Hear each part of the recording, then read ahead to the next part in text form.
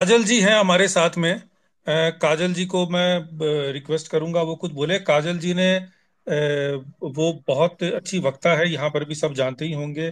Instagram में इन्होंने धूम मचा रखी है और इस प्रकार के हिपोक्रेसीज पे उन्होंने बहुत उनके एक से एक ओजस्वी वक्तव्य हैं और उसको छोड़कर इस विषय पे लड़कियों को अवेकन करना, लव जिहाद की विक्टिम्स को रेस्क्यू करना इन सब काम को भी बहुत प्रबल रूप से किया है। और अभी एक जो कन्वर्जन फ़िल्म आ रही है लव जिहाद के ऊपर उसकी ब्रांड एम्बेसडर भी है तो मैं अपनी बहन काजल जी को रिक्वेस्ट करूँगा कि आप बोलिए। मैं सॉरी हम लोग बहुत लंबा बोल रहे थे मैं तब से मेरी मन इच्छा हो रही थी कि आपको मैं सुनू। मैं बोलता ही रह गया मुझे बड़ा हाँ। क्रोध आ रहा था इन पे आप अब आप बोलिए मैं बस चुप हूँ। इस सर्वप्रथम तो इतने प्यारे और सुंदर से वक्तव्य के लिए संजीव भाई आपका बहुत बहुत आभार। और स्वाति जी धन्यवाद आपको कि आपने ये मुद्दे को होस्ट किया और आप अच्छा इस मुद्दे के साथ आप आए। एंड uh, बहुत ज़रूरी है देखो अ, हम मैंने अभी किसी को सुना कि कोई ये बोल रहा था कि इसको इतना ज़्यादा इम्पोर्टेंस क्यों देना? कई हद तक मुझे भी ऐसा लगता है कि इम्पोर्टेंस नहीं देना चाहिए। पर कितना ये जायज़ है कि अगर हम लोग इम्पोर्टेंस नहीं देते तो तनिष्क वाला वो एड ज्वेलरी का हटता हमने इम्पोर्टेंस दी और बॉयकॉट भी किए और बवंडर भी मचाया और रिबेल भी किया, तब जाके वो हटा। तो वही बवंडर, वही रिबेल करना है ताकि ये ये वाला जो एड है मान्यवर का वो हटे। और क्योंकि मैं पंडितों के फैमिली की हूँ तो मैं शायद मैं अपने आप को ज्ञानी नहीं कहती हूँ, क्योंकि मैं पंडित नहीं हूँ, मेरे परिवार में है। तो मैं जानती हूँ कि कन्यादान का मतलब क्या होता है, और ये जो कन्या मान का कॉन्सेप्ट लेकर मान्यवर आया है तो मैं ये मान्यवर को ये बताऊँगी कि कन्या का मान जितना सनातन धर्म में होता है, उतना तो कहीं नहीं होता। मात्र हमारा धर्म ऐसा है कि जिसमें जब शादी होती है तो पहले वर आता है, फिर वधु आता है और जो मंत्र उपचार होते हैं उसमें उनको लक्ष्मी नारायण कह के बिठाया जाता है। यू नो कि हम लक्ष्मी नारायण का जो वधु होती है उसको लक्ष्मी का दर्जा देते हैं और जो वर होता है उस दिन उसको नारायण समझकर उनको दर्जा देके उनको उस पाठ पे बिठाया जाता है। एंड फिर नारायण समझ के उनकी पूजा की जाती है और जो वधु का पिता है, वो वर का, यानी उसको नारायण की तरफ़ बिठाकर उसकी पूजा करता है, उसके पैर धोता है। और उसके बाद जैसे ही कन्या आती है तो कन्या का मान होता है, कन्या को बिठाया जाता है और वो पिता ये जिस पिता के लिए कन्या कह रही है ना कि मेरा दान कर रहा है, मैं तो चिड़िया थी, अब ये वो तो जब वो पिता पैर धोता है उस कन्यादान की परंपरा में और पैर धो के उसका साफ़ करता है पैर तो इससे बड़ा क्या मान होता है किसी कन्या का? और सनातन धर्म संस्कृति में हमारे वेद पुराण में लिखा है कि सिर्फ़ दो ही चीज़ों को इंसान के साथ जाती है या जिस पर उनको, जो हमारे भगवान है, उनको उस पर यू नो वो वो देते हैं जगह देते हैं या वही मौत के बाद उनके साथ जाता है, वो पहली चीज़ है कि अग्नि यज्ञ में किया हुआ जो हम लोग यज्ञ कुंड होता है, उसमें जो हम आहुति देते हैं, वो, और दूसरा दान। तो किसी भी तरह का दान और कोई भी अग्नि को दी हुई आहुति, ये दो ही चीज़ें इंसान के मरने के बाद उसके साथ जाती है और उसी पर भगवान जो है उसको यू नो प्रेज करते हैं या गिफ्ट देते हैं, ऐसा है। तो जो कन्यादान है इट्स नॉट अबाउट कि एक्चुअली ये जिस दान के कॉन्सेप्ट को इन्होंने गलत बताया अगर हम किसी को एक एक पिता पिता ये हम जानवर तो है नहीं कि भाई बस कहीं से भी उठा लो और कैसे भी भेज दो। हमारे में बिल्कुल परंपरागत तरीके से उसको लक्ष्मी के रूप में बिठा के पूजा अर्चना कर कर उस लड़की को को विधि विधान से लड़की के पिछले 21 पूर्वज और लड़के के आने वाले जो दस भावी पीढ़ी होगी मतलब दस आगे आने वाली जो पीढ़ी होगी उनको इसका वो लाभ मिले, इसलिए ये पूरा रिचुअल्स कन्यादान का निभाया जाता है। और इस रिचुअल्स के अंतर्गत जो लड़की की पुरानी 21 पीढ़ी है, जो कि उसके पुराने 21 पीढ़ी के पूर्वज है, वो इसमें आशीर्वाद देते हैं और ये आशीर्वाद देते हैं कि लड़की की आने वाली जो 10 पीढ़ी है, वो जिस एक गोत्र से दूसरे गोत्र में जा रही है, क्योंकि हमारे में एक गोत्र में हम शादी भी नहीं करते क्योंकि एक गोत्र का लड़का लड़की भाई बहन माना जाता है। तो वो जो लड़की जो दूसरे गोत्र में जा रही है तो बकायदा जो दूल्हा होता है, हमारे में बारात लेकर आता है, यानी कि वो मांगने आ रहा है लड़की के दरवाजे पर। और जो दरवाजे पर आता है, उसको हमारे सनातन धर्म संस्कृति में भीख नहीं कहते, उसे दान कहा जाता है। और दान पर एक बहुत बड़ा मतलब कॉन्सेप्ट हमारे संस्कृति में लिखा हुआ है। तो वो धूमधाम से पूरे इज़्ज़त के साथ में हमारे घर में आते हैं और हमेशा देखना सनातन धर्म संस्कृति में जो शादी होती है, जो फेरे होते हैं, वो हमेशा लड़की के घर में होते हैं। हमेशा बारात जाती है लड़के की, लड़की के द्वार पे मांगने कन्या का हाथ। तब पिता पूरे विधि विधान से अपने गोत्र की बेटी को अग्नि के सामने यू नो साक्षी मांग के क्योंकि उस वक्त एक अग्नि ऐसा देवता होता है जो साक्षात हाजिर होता है।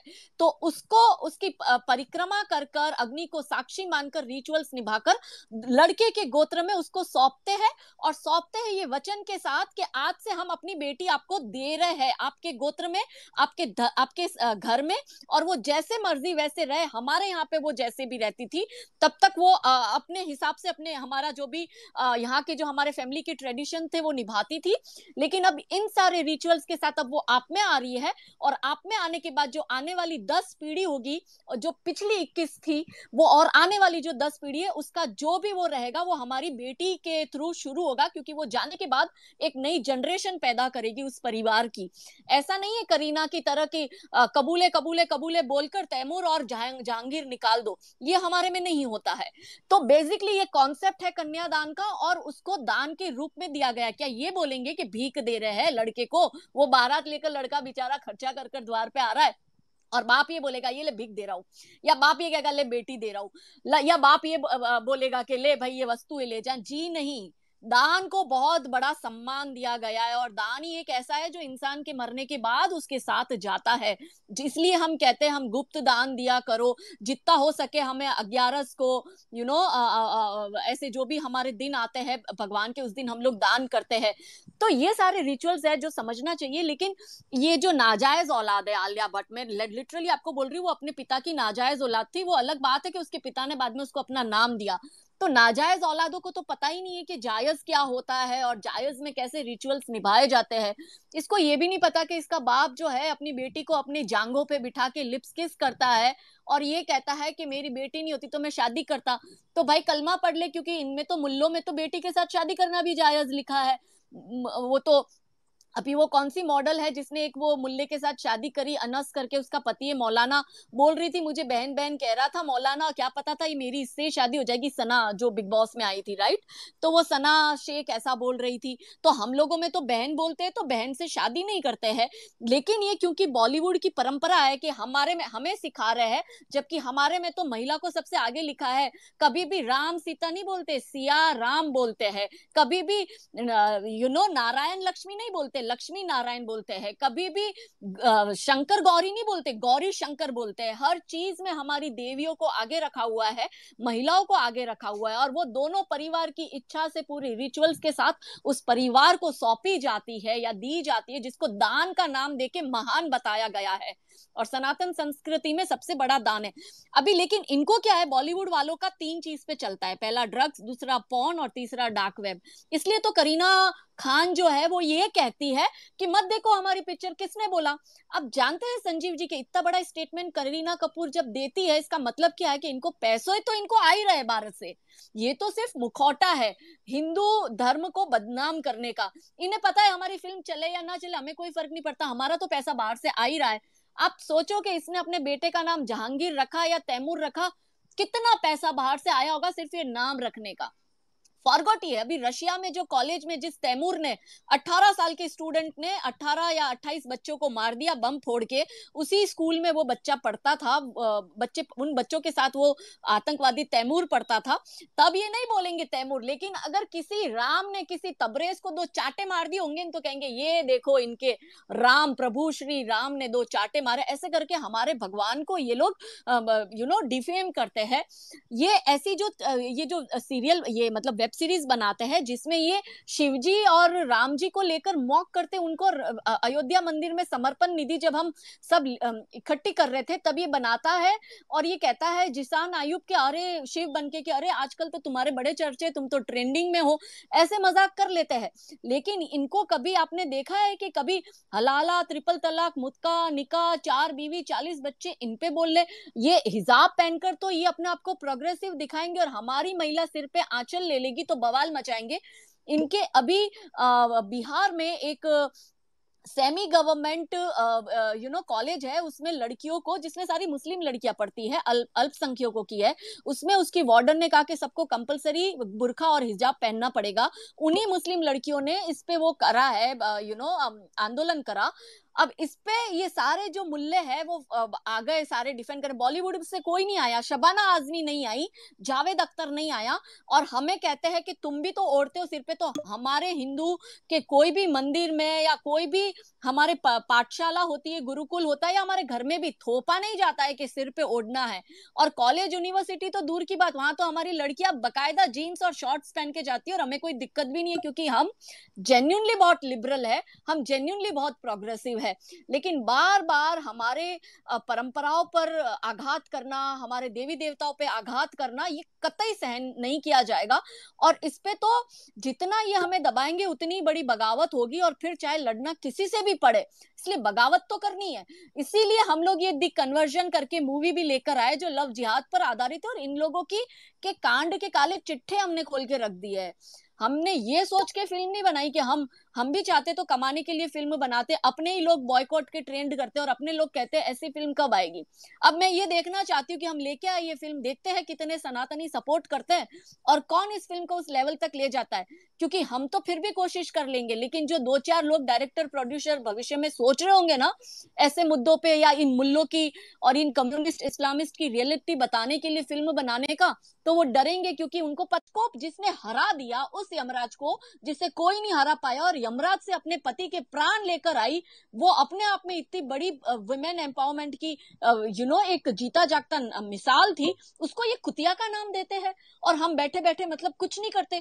तो हम जब तक वो ट्रेंड नहीं चलाएँगे ना कुतिया हैशटैग कुतिया अनु, अनुष्का शर्मा या हैशटैग कुतिया शबाना आजमी ऐसे रखो कुतिया के नाम, डरते क्यों हो? खुल के क्यों नहीं बोलते हो? मैं फिर आ जाते हैं विक्टिम कार्ड खेलने विमेन कार्ड खेलने, और ये सारी बिग बिंदी गैंग आ जाएगी अपना अपना मंजीरा बजाने के लिए। लेकिन ये तब नहीं बोलेगी कि जब वहाँ पे बिहार में कोई हम तालिबान है तो फिर बिहार में कैसे आप एक गवर्नमेंट ऑर्गेनाइजेशन में हिजाब कंपलसरी कर रहे हो, बुरखा कंपलसरी कर रहे हो, और ज्ञान पेलते हैं हम हिंदुओं को आकर? तो भड़ास तो मेरी भी उतनी है। आलिया भट्ट जैसे तो बेवकूफ़ लोगों को पता ही नहीं है प्रेसिडेंट और प्राइम मिनिस्टर के बीच का मतलब। लेकिन इनके आका कौन है? महेश भट्ट। इनके आका है जावेद अख्तर। इनका आका है वो फरहान अख्तर, आमिर खान, शाहरुख खान, हिडन। बहुत बड़े क्रिमिनल लोग हैं ये लोग। अभी शिल्पा शेट्टी का पति वो पौन में फंसकर दो महीने बाद बेल पे छूट के आया। इनके मुँह में इतना दही जमा हुआ है। वो सोनू सूद 19 करोड़ में से एक करोड़ खर्च करता है 18 करोड़ खुद के जेब में डालता है, फिर भी वो मसाया कहा जाता है। और यहाँ पे राष्ट्रीय स्वयं सेवक के बच्चे बिचारे घर घर जाके निधि इकट्ठा करके ट्रेनों में जाकर लोगों को खाना पहुँचा रहे थे, लाशें जला रहे थे मतलब अग्नि संस्कार लाशों का कर रहे थे, इतनी दवाइयों के लिए दौड़ रहे थे, पर आरएसएस वालों को ये, इनको आतंकवादी दिखते हैं आरएसएस वाले। तो ये हिपोक्रेट के तो हमको वैसे भी सर्टिफिकेट नहीं चाहिए, लेकिन अब अगर ये एक बोलेंगे ना, इनको सौ मारो, दो नहीं। हम गांधी तो एक के जगह कहता था कि दो मार खा कर आ जाओ। मैं कहती हूँ, ये एक मारे ना, इनको सौ मारो और इनको तब तक मारो जब तक इनकी अक्ल ठिकाने ना जाए, क्योंकि रोल और फ़िल्म तो इनको मिलने ही है। इनको पता ही है कि वो तो हमें मिलने, हमारा तो फ़िल्म नहीं भी चलेगी तो भी पैसा तो बाहर से आ रहा है उर्दू वुड जिसे हम कहते हैं, या दुबई से आ रहा है, या सऊदी से आ रहा है, और ये पूरा पेट्रो डॉलर आ रहा है, और भर भर के आ रहा है। जॉर्ज सोरस का पैसा तो ये कम्युनिस्ट इस्लामिस्ट ग्रुप मिलकर जो हिंदुओं के अगेंस्ट प्रोपोगेंडा रचा रहे, दुख इस बात का है कि सेक्युलर हिंदू हिंदू जो है सब जानकर भी गांधारी की तरफ़ पट्टी बाँध के बैठा है, पर उसको समझना नहीं है कि बार बार उसके अस्तित्व पे वार हो रहा है। ये कम्युनिस्ट जो इतना जॉब का बात करते हैं, इक्वेलिटी की बात करते हैं, पुअर और अमीर, गरीब की बात करते हैं, इनको पूछो कि केरला में से परसों पेप्सी वालों ने अपना वहाँ से प्लांट हटा दिया, पेप्सिको वाले ने, और वो प्लांट इन्होंने शिफ्ट करा, यूपी में और 814 करोड़ रुपए और लगाए। ये तीस एकड़ में फैला हुआ प्लांट था, वो इतने फेडअप हो गए थे इन कम्युनिस्ट से केरला में कि इनको वहाँ से अपना प्लांट उठाना पड़ा। क्यों ये अब जॉब पे बात नहीं करते? क्यों ये एक जना जो ट्रेंड चला रहा था मोदी जी के जन्म दिवस के दिन कि बेरोजगार दिवस, अब वो केरला में कितने लेबर बेरोजगार हो गए? अब क्यों नहीं ट्रेंड चलाते हो कि क्यों पेप्सिको को वहाँ से जाना पड़ा? क्यों पश्चिम बंगाल से टाटा नैनो को वहाँ से जाकर गुजरात में अपना लगाना पड़ा? तो ये कम्युनिस्ट इस्लामिस्ट जो है, वो देश के लिए सबसे बड़ा खतरा है।